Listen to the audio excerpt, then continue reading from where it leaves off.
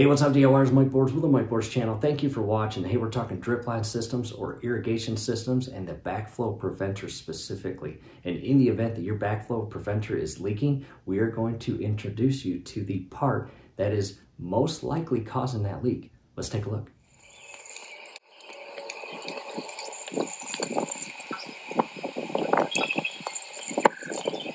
All right, DIYers, quick break in the action, and as you can see, it is definitely leaking. And believe it or not, the most common time for this to happen is during the initial or first time startup during the spring season. However, it can also happen mid season or at the end of the season. But again, you can see it's leaking. However, we have already performed the troubleshooting steps set forth by the company that designs this entire backflow preventer kit and system. And unfortunately, no luck for us, it's still leaking. However, in your case, if you have not performed all of the troubleshooting steps, you might not actually have to replace any parts. So with that said, definitely check out the link scrolling above. We will also post it down below in the comments and description. And in that video, you will see us run through all of the troubleshooting steps. And hopefully that's all you will have to do. Again, not replace any parts in the end. That would be awesome. However, in the event that you do all of the troubleshooting steps and it is still leaking, you will have to replace the internal bonnet and poppet kit that you can't really see right now. I mean, if you go up directly at the top underneath that top cap, you can see the upper portion of the bonnet However, you can't see the internal poppet and additional seals that are inside. So again, it might be very beneficial to you to check out that troubleshooting steps and perform those steps and hopefully get your system to seal and stop leaking. However, for us, after performing all of those troubleshooting steps, we have determined that either the rubber O-ring or the rubber washer style seal or gasket has failed. And again, you can't see either of those in this picture. However, you will shortly in this video. And with that said, DIYers, before we move on, this is extremely important and imperative. If you have performed all of the troubleshooting steps and it is still leaking, don't let it continue to leak. Go ahead and fully shut the system down and stop all water flow out of your house and into this portion of the system and plumbing where it is going to leak. And really, by doing that, it's going to do two things, maybe even more things. Number one, it's going to stop the leak because you're shutting the water off. And number two, it's going to save you money because it's not going to constantly leak water and constantly be activating or energizing or turning on your pressure tank, which that costs money. So again, shut the system down. And as we move forward in this video, you will see how we have got all of our valves configured to ensure our system is fully shut down and no water is flowing out of the house to this section of the plumbing and leaking on the ground. In addition, just shut it down for safety purposes. And what I mean by that is in the event that it is leaking and you can't get it to stop leaking, if you continue to allow it to leak over the next few days or weeks, it may cause additional damage to the system, or even worse, its surrounding area, such as your home's exterior wall or the siding, or the absolute worst, the foundation. So again, shut the system down. DIYers, here we are inside the utility room and you can see that big one inch white pipe with the water shutoff valve. It is no longer in line with the plumbing and that is position in the fully off and closed configuration. And again, one inch pipe feeds water all the way out to the exterior system we just showed the leak at. And again, since it's leaking, we need to close it up and shut it down. Again, water shutoff valve is fully closed. And we have also unplugged our entire Hunter electronic control box and set the power black up top. All right, DIYers, leaving the utility room. We are always busy here at our DIY channel. Here is the workstation, and we are going to be rebunking and recarpeting our jet ski trailer bunks.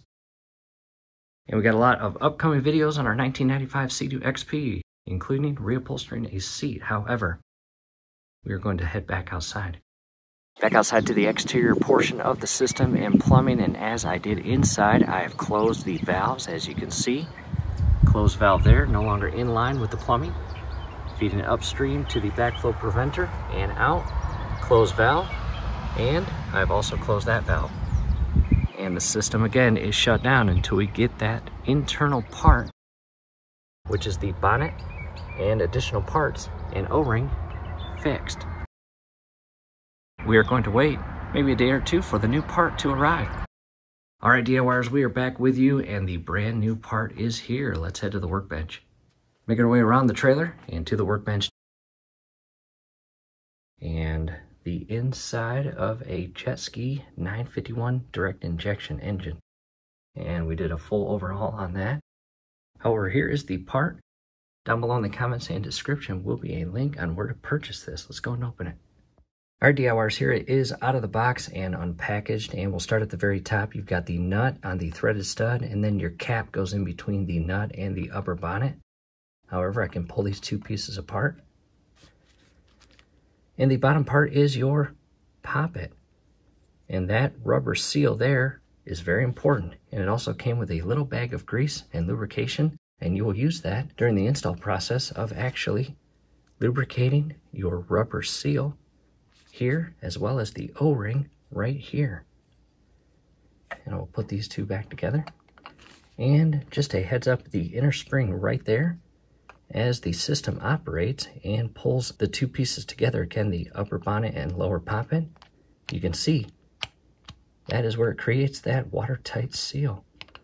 And unfortunately, ours needs to be replaced. So I just wanted to show you the part on the actual bench first. Let's head back outside.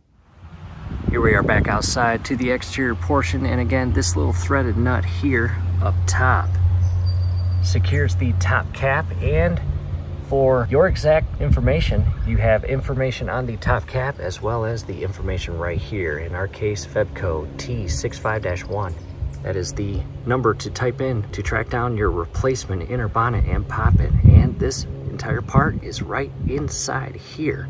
And again, that upper nut is that nut right there. The cap secures in between the nut on the threaded stud and the top portion of the bonnet. And this entire part is inside.